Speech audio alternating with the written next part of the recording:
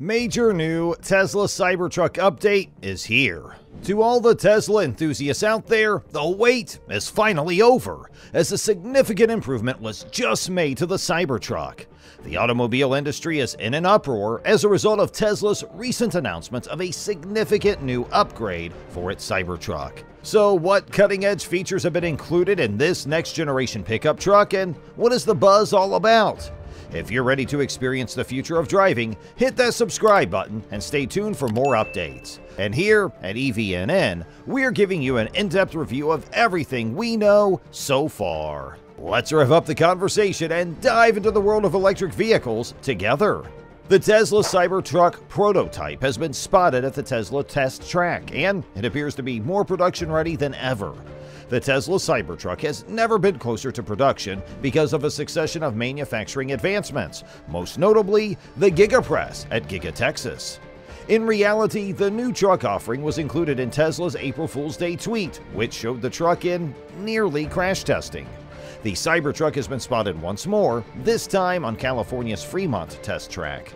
The Cybertruck drone footage was first shared on YouTube by a smaller channel called Chile Al 100, and it showed the Cybertruck entering and testing on the Tesla circuit with several other Tesla vehicles, including a first generation Tesla Roadster. Despite its vast size, the Tesla Cybertruck is projected to be a high performance vehicle, with Elon Musk even predicting that it may exceed the Model Y in turns. Furthermore, Tesla's truck offering is expected to be one of the most powerful on the market, especially given that it will most likely be outfitted with Tesla's latest motor technology, which has been easily outperforming the competition in a variety of other vehicles. Precise parameters are still unknown, as is much of the final design, yet both the drone and crash test footage provided today appear to validate a lot. Secondly, in both videos, the now famous Giga Wiper appears on both test vehicles, demonstrating that Tesla has yet to move from the single huge wiper design.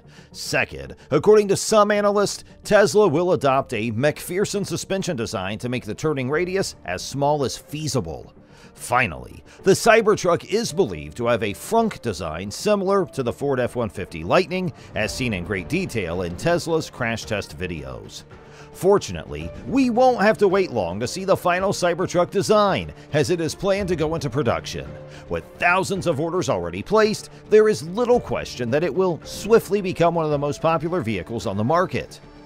Tesla has submitted a patent application for a steel alloy that will serve as the Cybertruck's exoskeleton. Electrek reports that the steel should be able to outperform other standard automotive grade alloys in terms of performance.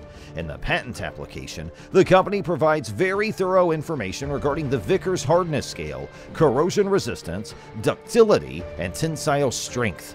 For those who are interested in such things, its hardness will range from 420 to 500 HV. Its corrosion resistance will be between 520 and 600 MV. It will have a ductility of 60 degrees, bend angle at 1.8 millimeters in thickness, and its yield strength will be 1100 MPa.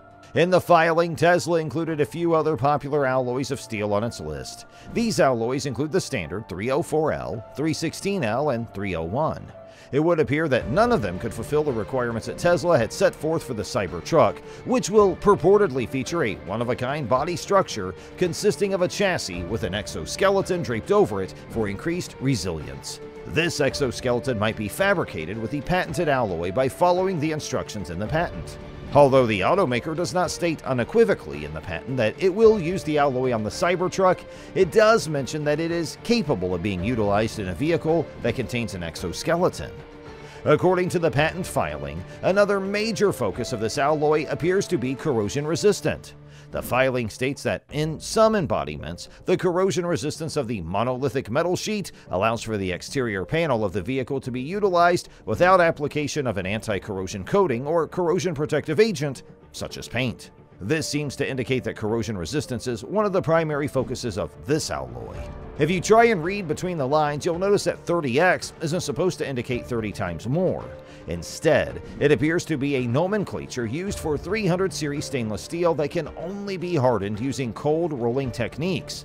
Hence, this is most likely going to be a blend or variety of stainless steel from the 300 series, which isn't all that uncommon in this sector of the economy. In contrast to the majority of automobiles that are manufactured today, the Tesla Cybertruck has won the attention of customers due to its design and its selection of materials. When it comes to the construction of many of the body panels found on the vehicles, aluminum and plastic are the two most common materials used. In contrast, Tesla's stainless steel alloy, which was previously unknown to the public, serves as the primary construction material for the Cybertruck. As is the case with the majority of material patents, the specific amounts of trace components and chemistry that could provide a clearer picture of the metal's physical qualities are not disclosed. Yet, the patent describes a number of the significant alterations that Tesla is making to its material to make it as robust as possible. First and foremost, as is made clear by the name of Tesla's patent, which is titled Ultra Hard Cold Work Steel Alloy, the company is reducing the cost of its material by utilizing a method known as cold rolling. This method involves manipulating and bending the steel without subjecting it to the more conventional processes of extreme heating and quenching, which are used to make hardened steel. Second, as is also made clear by the name of the invention, the alloy emphasizes hardness above all else. This helps to prevent the alloy from being scratched and dented, but it does come with some limitations. Because it is made of such a tough material, as some detractors of the Tesla Cybertruck have pointed out, the vehicle may have a difficult time passing crash tests because the bodywork won't be able to crumple and absorb energy as quickly as the majority of vehicle body panels do. Second, the corrosion resistant and durable material that Tesla uses is technically great, but it is also tremendously expensive, which may be reflected in the price of the vehicle. In response to the appearance of the new information, Elon Musk provided a fairly direct answer. The new development was disclosed by the US government. Since the introduction of the new Cybertruck, the Patent Office has been providing some of the most in depth views into it. During the announcement that Tesla will be moving its headquarters to a new location at the end of this week, the Cybertruck made multiple appearances both online and in person. Both of these appearances received an enormous amount of attention from the media. Interestingly, Tesla's been handed a design patent for the wheel covers that were displayed on the prototype Cybertruck at the time of its unveiling in 2019, and again at the beginning of March during the event that Tesla has annually for its investors called Investor Day. It is interesting to note that the design patent application was submitted on November 21, 2019, which was also the first day the Tesla Cybertruck was shown to the public. However, the United States Patent and Trademark Office, or USPTO, did not grant the patent until March 7, 2023, and it has a validity period of 15 years. According to Drive Tesla Canada, the first 2019 prototype featured unique wheel covers. Subsequent appearances of the Cybertruck, however, featured wheels that were plain and lacked any type of cover. This led many people to believe that the finished pickup's 35 inch wheels would be mounted on the truck in their original configuration. Yet, the most recent Cybertruck prototype wore the same wheel coverings as the first vehicle when it was displayed at the company's Investor Day event at the beginning of March. However, the fact that the USPTO has granted Tesla the right to utilize this design on its goods is another piece of evidence suggesting that the production ready version of the Cybertruck may in fact arrive with the black covers described in the patent. But given that it wouldn't be the first time an automobile manufacturer was awarded a patent for something that was never put into production, there is still a remote possibility that Tesla will keep those wheel covers a secret. According to the accepted patent that was posted on the website of the USPTO, the covers were designed by Franz von Holzhausen, who is Tesla's main designer, together with Julien Blaudot, David Imai, and Ivan Lampkin. In its statement, Tesla simply states that it is claiming the decorative design for a vehicle wheel as depicted and described. There is no mention of any of the specific technical specifics such as size, the material utilized, or the mounting process. Reportedly, it comes equipped with the most recent iteration of the company's hardware for computer, as well as an adjustable air suspension system that can adjust the height of the vehicle in response to changes in the terrain. Looking at the truck, how will it be from inside? Matthew Donegan Ryan took several images of the interior of a Cybertruck with a glass roof that appears to be similar at Investor Day. The photos give the impression that the prototype was just finished being developed. It is important to note that the tonneau cover is nowhere to be found and does not fold down into the front end of the tailgate in the manner that is common with other types of systems. The interior of the Cybertruck notably does not contain any significant surprises of any kind. It does not appear that there are any incredibly cutting-edge storage places or features. On the other hand, we will have the opportunity to observe how the back seat cushions can be flipped up to create additional vertical storage space in the second row.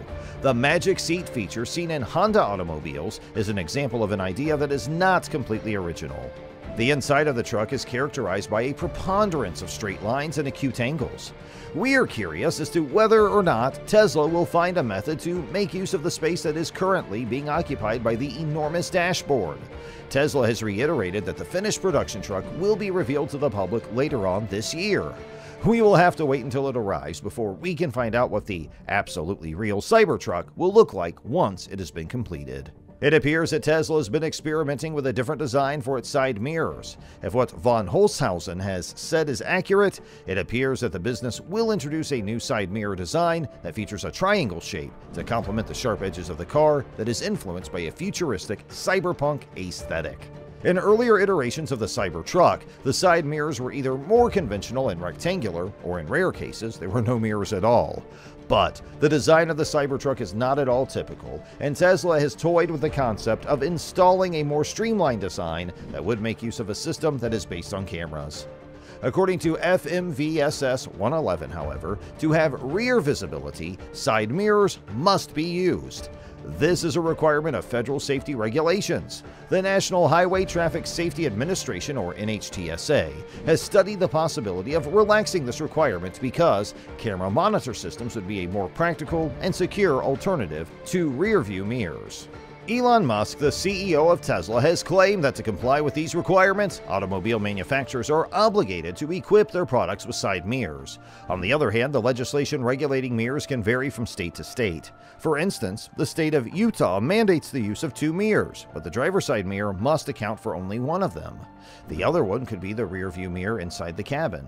Or in the state of Oklahoma, one of the two compulsory mirrors must be mounted on the side of the vehicle that faces the driver. Sightings of Cybertrucks over the years have shown a variety of unique styles and concepts for the side mirrors of the vehicles. There have been times when the Cybertrucks lack them entirely, while other times it's been outfitted with a variety of mirror configurations. So, that's all for today. Don't forget to leave a comment down below with your thoughts on these groundbreaking updates, and we'll be right back with more videos soon. So please give this video a thumbs up and subscribe to our channel, and thanks for watching.